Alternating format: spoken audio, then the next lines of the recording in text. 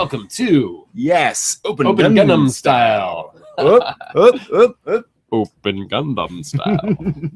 so we are back after having watched five more episodes. Five more episodes, so we're on episode. We finished episode ten. Yep, exactly. Episode ten. Yeah. So for those following along, this is the point at which um, Lady Matilda Matilda San shows up, and Agarma Zabi has just uh, fought his last battle, shall we say? Yeah, So, uh, gone down with the ship. Yes, absolutely, in, in every sense of the word. Very noble,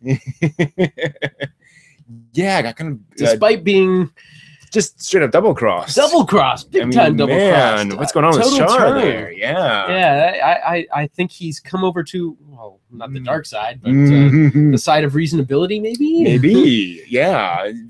Uh, Char certainly is doing something different. Yes. It certainly has his own views. Well, we've we, we've seen more of a human side to both yeah, both sides, true. and uh, maybe maybe there's more at work here than just a, uh, a, a an epic Mm. struggle of good and evil, but Yeah, the human condition of the struggle for power rather than just uh, us them thing. There's a yeah. we humans on this side, we humans on that side. Okay, well, can they work it out? Exactly.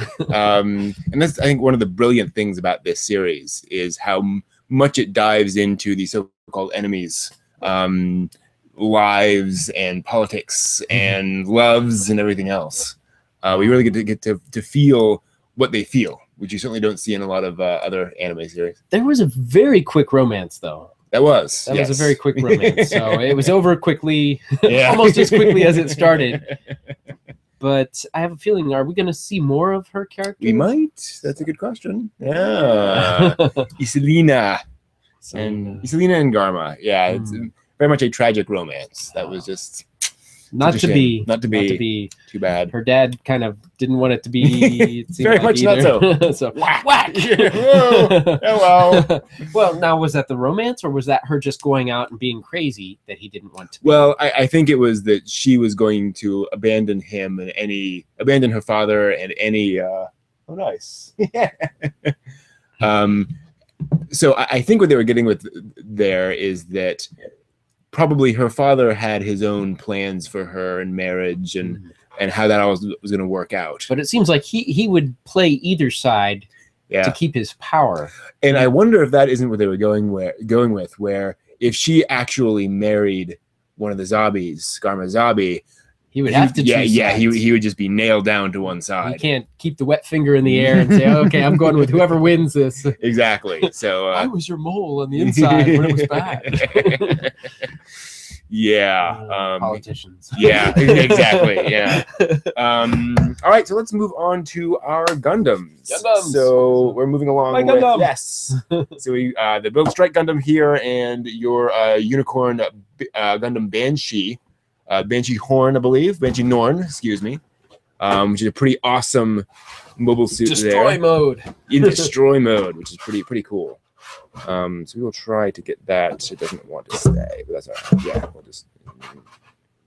Yep, Hey, you can lean it against There we are. sideways that works. Oh, that, that looks really awesome. Actually. Yeah, Cool. that works out pretty well. It. So then we continue where we left off. Got my decals. There we go. Yeah, you were just working on details last time, weren't you?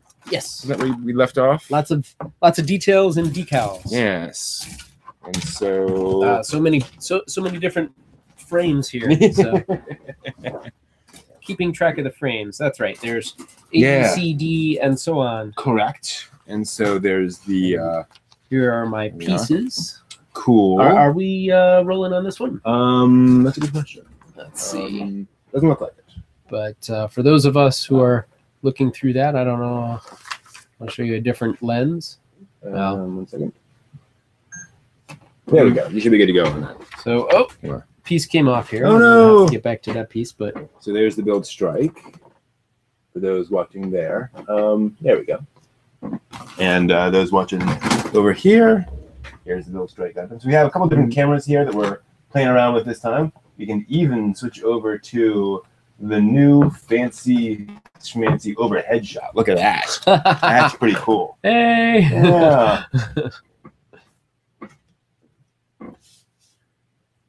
So I've got frame A.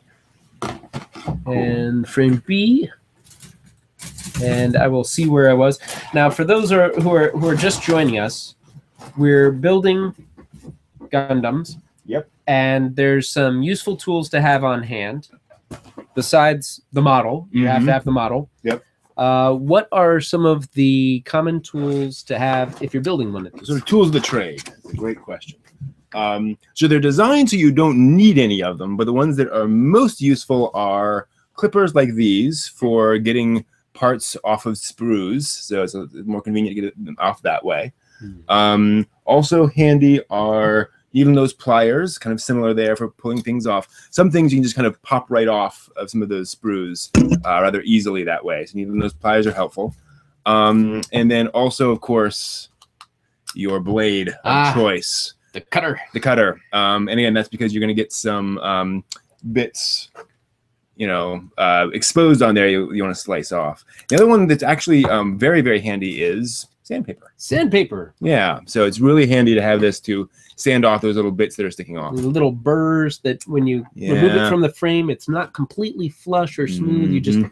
sand that off and it makes it nice and smooth. Exactly. Um, now, if we were um, painting this in a lot of detail, we would sand that off and then uh, basically repaint each of these. We'd, we'd spray it with primer and add some some paint again, um, just to you know hide any of those little uh, marred uh, spots. Oh That- yeah, that'll give a nice professional look to it. exactly. Yeah. So um, maybe that'll be our next uh, kit. We'll, we'll do that on And some people go as far as putting battle damage paint Oh, yes. onto it, uh, not just decals, but no, they go yeah. the full magnifying glass, doing every little brush stroke with a fine hair. Brush. Very much so, yeah. Um, well, and of course, you got to remember that these things are uh, replicas of of creations that stand, you know, tens of feet tall.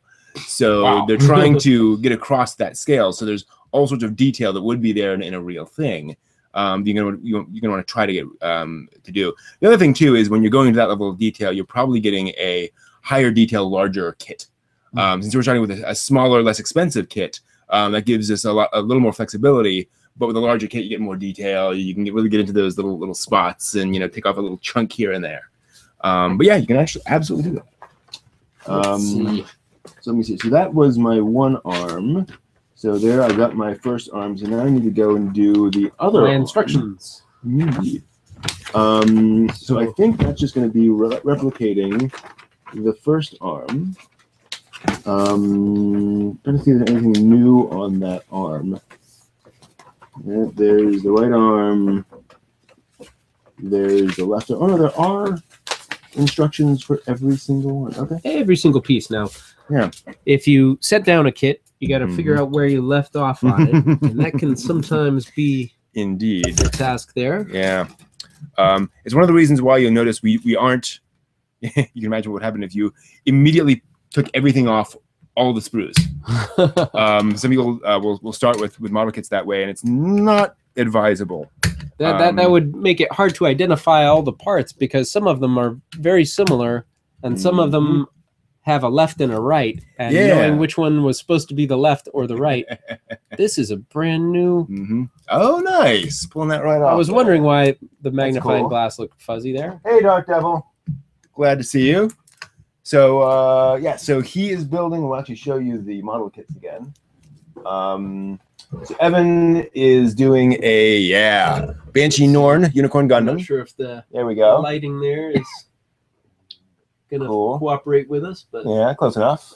there That's we cool. go. Nice. A little better. Yep, and I've got a Build Strike Gundam from uh, uh, Gundam Build Fighters. So Gundam Unicorn and Gundam Build Fighters on display here. And we start with oh, E11 and E10. So I'm just popping off the shoulders of the Gundam, of the Build Strike Gundam. And again, these are, um, just making sure I'm correct with this, these are what grade are these? High grade kits. High grade. What's that mean? It means they're the smallest, basically. Um, s- smallest and least expensive. So I don't have to be uh, of a certain level of model building expertise at that. Mhm. right now, um, it's actually a good point. All of the model kits, uh, Gundam model kits, are designed along these lines, where you don't need uh, huge amounts of, of detailer expertise. The larger ones are just a lot more complicated with a lot more pieces and such. So, um, you know, not a great idea for a first kit. Uh, just because you'll be, you know, you'll, you'll be spending decades building it. Um, much less some of the really, really big ones there. MPC3. Hmm. Just got a notification. Let me guess, thunderstorms. Yep, thunderstorms. So this is worth mentioning. Actually, uh, we got thunderstorms moving into the area. So Just in case we disappear. yeah, quite quite possible. I need a C12. So we we will post this again. Yes, and I do have the video from last time, but I had some trouble exporting it, so I've got to rebuild that. But uh, we will be posting video from last time, all nice and assembled. Um, C12. Where's 12? So yeah, this episode of uh, these episodes of Gundam were uh, um, a little more plotty, I would say. There there was there was a lot more development of of personalities hmm and um, a little bit more humanizing. It wasn't just okay. Here here we are Yeah. uh, uh, as as a cohesive organization. It's uh, Mhm. well, there's struggle for power within an organization. there's individual personalities and approaches within an organization, Mhm. and we see within the federation there. Um, very different personalities. I'm impressed with with the way Kai kind of is sort of smirky, sar- Mhm. sarcastic-y, and he gets away with it to some degree but uh, I wonder how long that'll go before it, it bites him. We saw when he finally got the pilot, he wasn't exactly the best pilot, Mm, though he was more mature than uh, um, Uh? Amuro. Or, yeah.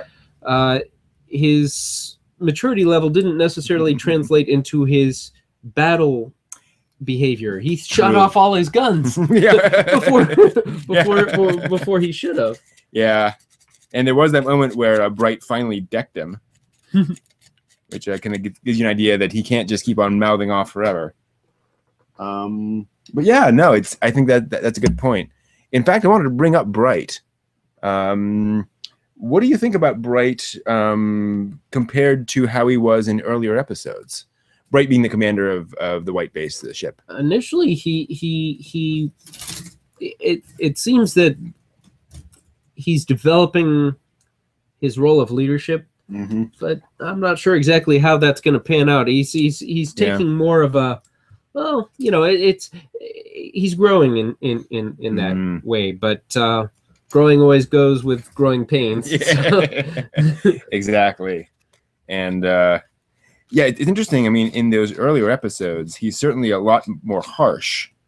he is he is so he's he's developing his role as a leader Mhm. but trial and error is a expensive school of, of leadership I think it was interesting how they gave him that commander. And I'm gonna I'm gonna forget his name, um, but the, the the guy they got from I think Luna Two, who took over command temporarily when they uh, uh, they they landed there, and uh, then he commands White Base for a few episodes. I think episodes six through eight or so. Hmm. Um, and he's kind of an kind of a jerk. kind of a jerk Um, yeah and I, I wonder if that didn't kind of impress upon Bright um, the importance of you know better behavior, of, of being a little more uh, uh, That seems easy like to an- get along with. that seems like a good assessment. Hmm.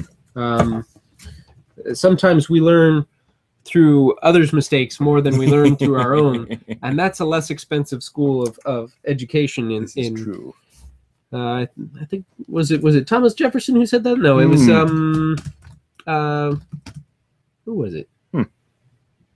Uh, ben Franklin. Ben Franklin. I Ah. think had. I'm paraphrasing very far from what he said, but it's it's a less expensive school to learn from others' mistakes. yeah, so true. And, and so seeing what other people do, Mm. uh, you can compress a lot of, of real world experience and apply it to your own life. yeah. Well, you want the the HG the high grade uh, Hi-Nu. That's cool. Hi-Nu. Now, Yes. what's, what's the Hi-Nu? That is a another mobile suit, and um, actually, I think I can pull it up on screen and then maybe show you guys a little bit of that. Um, good. No. Um, I will move away from the. Yeah, that is lovely. I don't know what the Hi-Nu is from. Is that uh here? Um oh wow. That's that's a quite obscure one. Relatively speaking. Oh, I, I think I hear a little bit of thunder in the background there. Yep. So D11. Wow. So for those watching on the stream, that's the Hi-Nu Gundam there. Ooh, Very nice, uh, very nice design. Very slick. nice. Yeah. Uh, now, what scale was that? That was high grade, same as these. Same grade. Yep. High grade. And then we have that So now- little thing. With my high grade, I think it was a little bit different scale, wasn't it? Just like 144. Oh, they're both 144? Mm-hmm. Yeah, they should all be 144. Now, uh, some mobile suits in the different franchises are different sizes. So, um, So 144 may be a different size of another Mhm. 144 exactly. true scale. Yeah. it gets a little complicated. Um, yeah, there's some absurdly huge um, mecha in the Gundam universe. So sometimes it gets a little. Uh, So for all you cosplayers, yeah. be sure to scale it Yeah. so that you can get through the door. exactly. yeah, those, those Gundam cosplayers are amazing. And they're actually cosplaying in like the armor. That must get pretty heavy, even with No the lightest materials. Oh. Yeah, They almost need the robotics just to, if I to move the suit. if I see one in the morning, I usually don't see him cosplaying in the evening.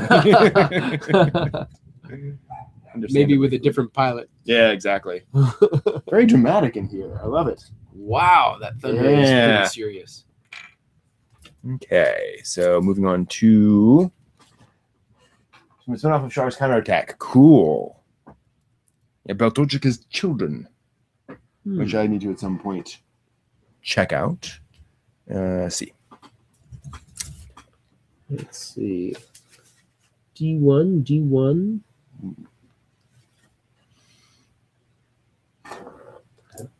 C11. Now, of course, as good as it is that Bright is getting a little more um, mature, I think is a fair word. Mm. Um, Amuro certainly struggles with that in these episodes. Amuro, it seemed, had uh, had s- symptoms of PTSD, Yeah, and true. initially he rose to the occasion Hmm. uh, as a hero of of default just because of the situation. Yeah. But we can see that it's wearing on him now, and Yeah. and it's understandable that anybody in that situation would have some Mhm. stress, and they haven't really let up on him. They have him Mm. continually moving forward because Yeah. he's he's he's the best they've got. yeah. But we can see his age and Mm. the exhaustion kind of starting to to change his his attitude and approach, Yeah. and he's becoming more of the reluctant sort of uh, reluctant hero there. Yeah, definitely. Um, and uh, some of the maturity is uh, showing there, or immaturity, I should Mm, say. yeah.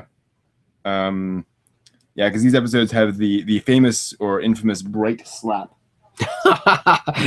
where uh, Bright just comes up and uh, and whacks Amuro upside the face and gives that that famous line. Um, uh, you need to grow up real fast, Amuro.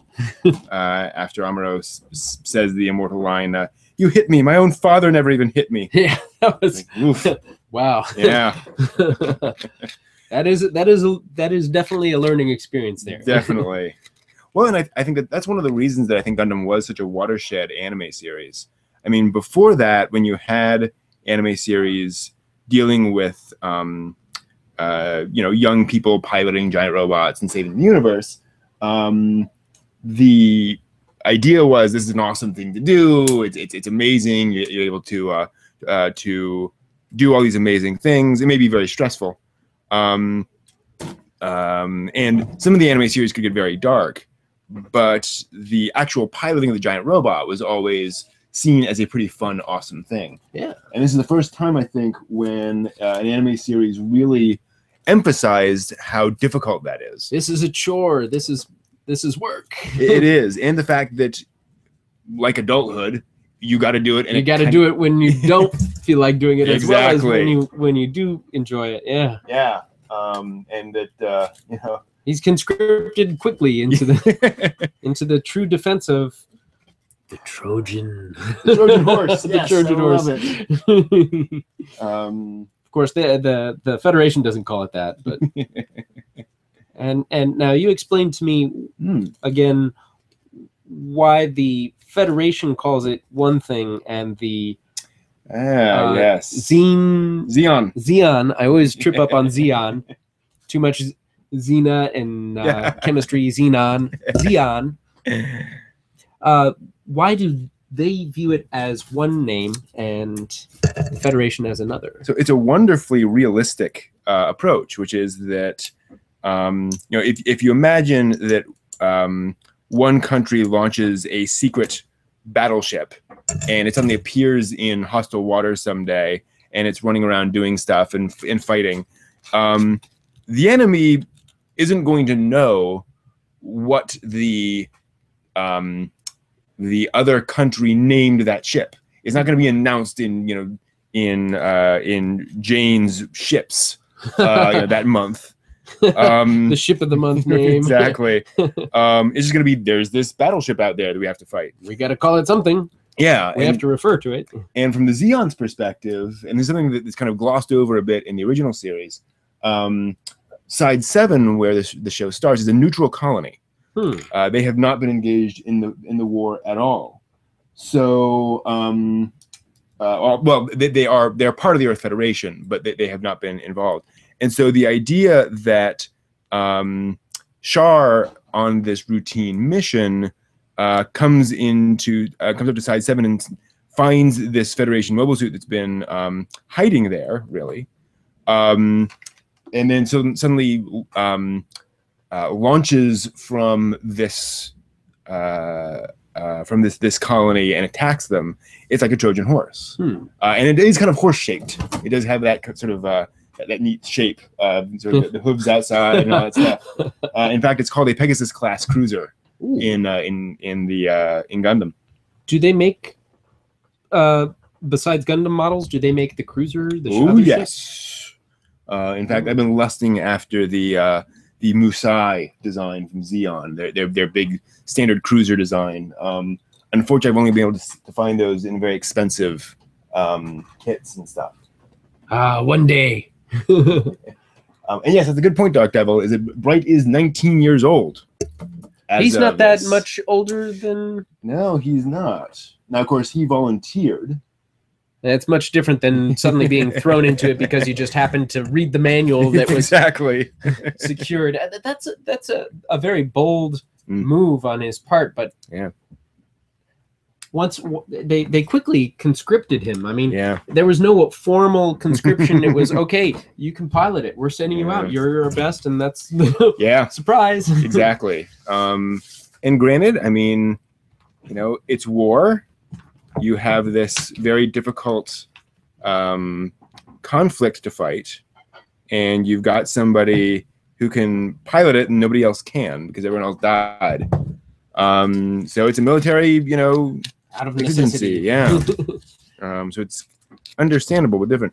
Now, Tomino, the director, his original idea was that um, Amuro would be a test pilot. He originally wanted Amuro to to be one of the pilots that they had brought on because he found it was kind of unrealistic that a random 15 year old could just jump into a giant robot and pilot it. um, but he was overruled, and uh, kind of understandably so. They said, kind of, well, that that's true, but it's just so much more awesome when you're watching as a kid yeah, to imagine that you could actually do this. yeah. It's not that hard. the so sometimes sometimes the uh, naivety of youth takes us to places that we wouldn't go had we more experience and wisdom. True. The and and and and that's the excitement i mean they there's also the young eyes can see better than Mm. somebody who's much older aspect to it. But Mhm. there's also the we will tread where angels fear because we know no better. yeah. and also, I mean, let's just be honest, the the pure um vicariousness of that. The the idea that as a, a young person, you you could do this. Yeah, rising to the occasion. There's no one else to do it. It needs to be done. Huh. Okay. It, it's it's possible to read the manual and then do something. yeah. Um, and and we see that he didn't learn everything there, and he's learning more as he goes along. hmm But to that point, not too many other people had, and if they had read the manual, they weren't around to come and pilot it. Yeah, exactly. so somebody wrote that manual, and I'm Mhm. beginning to wonder. Uh, Hmm. We see a little bit more interaction with the Federation now, Yeah. suddenly appearing. hmm They've been out of communicado with uh, Hmm. the Federation for Mhm. for for quite some time. Yep. But now they they they've they've come and made their presence known. Yeah. But they didn't come and say, "Hey, come on home." hmm They, they kept them out. th- They kept the ship out there Yeah. for more. They said they're they're busy, Yeah. Yeah. and so so it, it's not as easy for them to say just come on back. yeah. So I'm beginning to think that the Federation has other problems that they're Mm. dealing with, and this may just be one front on the entire uh, uh, Xen Zeon. Zeon rebellion. I don't know why I always default there. Yeah. and I, I agree and, and that is something they start to deal with a little later on and it's it's one of the classic sort of storytelling problems is Hmm. that how do you um, put people on a huge adventure without inevitably having you know large amounts of military troops you know showing up to resolve it you know Hmm. larger authorities are going to at some point notice what's going on Yeah. um, and so everyone comes up with some way of, of dealing with that. Um, and uh, in gundam's case without getting into too much into later spoilers um, there's a reason for that. Like the the the, uh, the military is very much intentionally kind of leaving white base off on its own uh, on its own devices. Hmm. um, but yeah i i always feel bad for writers like that because it's oh, you know there's so much to try to uh to handle in those stories and i got a lot of sprue on that um I'm I'm impressed with how um, how accurate all the pieces are are manufactured Mm. in this. I remember back in the '80s, old uh, Testors models and mm, stuff like that, and I'd always see a little bit of flashing uh, uh, here and there. That of course you need to trim it and cut Yeah. it, but there was a lot of it in comparison to these. There's really it's only uh, where the sprue marks are. Mm. I don't see any slop or excess, so it's a what's very flashing so um, sometimes when they make these holes that Mhm. uh, they tr- the plastic travels along to, Mhm. there's a little spot where the two molds didn't come completely Ah, together, and you'll have a little fin, oh yeah something like that, and it can happen around the. I Hello. think that was a power hit. yeah, it, you'll get a little extra plastic, yeah okay and that plastic is, you know, it's not intentional, Mm, and it doesn't add to the support to hold the the piece yeah or it may be on the piece itself and it wasn't intended to be there. Mhm. I'm not noticing that with these models. that's a good point yeah It seems that uh, the process has been very well refined. Mhm, yeah I- i'd love to know how many millions of gundam model kits they've they've made over the years Okay, so that goes there. And then U goes up in there like that. That's the only way that can go. And then this goes like this, but it's facing. Oh, whoa. Hello. You need to come off. How did I miss you? oh, well, here's something interesting. Hmm. I see a picture of a pair of tools here. These ones. Ah, Yeah. That just means you need to clip something off, generally speaking, I believe. Let's see. What Maybe- we got? maybe this little peg Um, here. Yeah, that's looking right. So that was probably necessary to let air out so that it could Mhm. fill all the way into the Yeah, corner. sense. in Mhm. in in molding hmm there's air displacement Hmm. and so all these frames have to be, be designed so that when they fill in Mm. The plastic goes all the way through everything Mm. and the only way that it can do that is if it push displaces the air but if there's plastic being pushed into a spot where the air can't escape it it, Ah, it, yeah. it, it the plastic simply doesn't go there and the piece Mhm. doesn't come out right hmm so uh, they'll put in little vents so that the plastic will Gotcha. get all the way to the end Mm. and um, Hmm. so something like this little tip here you Mm. can see if you look at it at an angle there's all these little posts that come up Ah, those are those are areas where when they push the plastic through it Hmm. can escape I see. air can escape it but it's not necessarily part of the piece itself Interesting. That, that that makes sense. That's fascinating. That goes. Hmm? with all that thunder and lightning it sounds like a battle going Yeah, on exactly. Must be. Must be Yeah. the gundams are out there Yeah, right. No the possible explanation. Uh, that goes like this. Yeah, I think white base is coming in for a landing. Okay, uh, you're supposed to fit in there. Now, now, White. Base had had its trouble with the civilian population, Yes. and of course they want to get off as soon as possible, which really makes sense. I mean, Mm. why would they want to be on something that's going to battle? Yeah. But they can't just get off anywhere because they're in uh, uh, Z- uh, territory. Zeon territory, yeah. which made me think, how much of the Earth Mm. is Zeon controlling? Yeah, I, I, I don't recall. hmm. Because Yeah. in in the opening credits, we see that they've crashed a colony into the Earth, Oof. Yeah. which is a huge hmm wow Yeah. movement. I mean, that's that's a very bold statement when you sacrifice a colony, destroying a uh, a huge portion of the Earth. Yeah. So that makes me think now that they've got Mm. base on the Earth, Mhm. and not just base on the Earth, but control. yeah. They're a larger force to be reckoned with than just Mm. some small colony rebelling against the forces that be. Right, and that's I mean that's one of the the issues uh, that they had